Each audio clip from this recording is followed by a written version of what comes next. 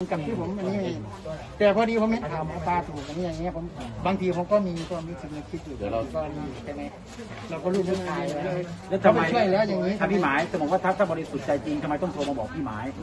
หรือทุกคนว่าอย่าพูดอะไรเยอะครับไม่ให้พูดอะไรเยอะไม่ให้พูดอะไรเยอะโทรมาบอกอยู่ว่าอย่าพูดอะไรถ้ามีคนมาถามหรือใครก็ช่างมาถามไม่ต้องพูดอะไรเขาบอกอย่างนี้กันอะถ้าคนเราจะพูดความจริงไปเลยมาพูดไม่ได้ครับผมเพราะคนที่นี่ก็ไม่แต่นี่คือผมพูดความจริงคือผมต้องไปจ่ายตรงนั้นผมก็จ่ายตรงนั้นจริงๆ ผมเข้าไปจ่ายอยู่ในแต่เขาไม่ให้พี่พูดครับผม อะเขาเขาไม่ได้เป็นใบ้นี่ครับ ก็คืออยากจะฝากถึงเจ้าหน้าที่นะ ถ้าคุณเล่นสกปรกแบบเนี้ยมีการมาโทรศัพท์มาบอกแล้วมาบอกกล่าวให้เอ่อผู้เสียหายเนี่ยไม่ให้พูดอะไรเนี่ย เพื่ออะไรอะแค่นี้สังคมน่าจะคิดได้เลยนะ ครับผมว่าสิ่งที่ผมโดนทำทนายโดนทำมันคืออะไร ก็สิ่งก่อนที่คุณทำอะคุณไม่คิดก่อนล่ะ แต่พอทำมาแล้วมันเกิดปัญหา แล้วคุณมาบล็อกคนเหล่านี้เพื่ออะไรอะ วันนี้เรามาให้กำลังใจเขามาให้กำลังใจพี่หมาย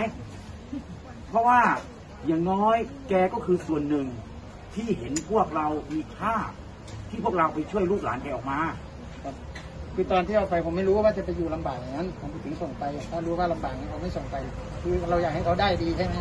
ไปบำบัดไปเนี่ยไม่ว่าเขาจะเป็นบำบัดจริงๆแต่นั้นเป็นเอาไปกักขังไว้ คือไปขังไว้ให้เลิกยาเลิกอะไรให้อดยาอดข้าวอดน้ำ นี่แหละคือสิ่งที่สำคัญนะนะชาวบ้านจะพูดอะไรขอให้ชาวบ้านพูดความจริงเกิดเจ้าเจ้าหน้าที่ทั้งหลาย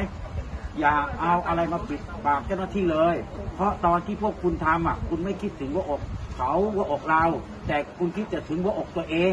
ว่าต้องหาได้ขนาดนู้นได้ขนาดเนี้ย แต่พอวันนี้มันเกิดข่าว คุณคิดจะมาปิดปากเขาเนี่ย